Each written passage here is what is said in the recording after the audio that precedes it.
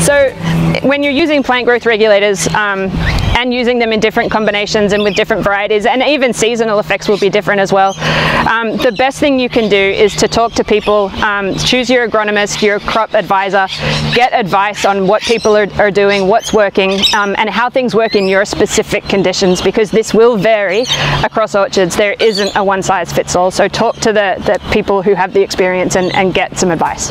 At the end of the day, we're growing fruit for consumers and want to ensure that the best piece of fruit is delivered to them every time they choose to eat it, so that they continue to purchase Australian grown apples and pears. It's important to remember that there are a variety of tools available when planning for harvest, and PGRs can be part of that toolkit.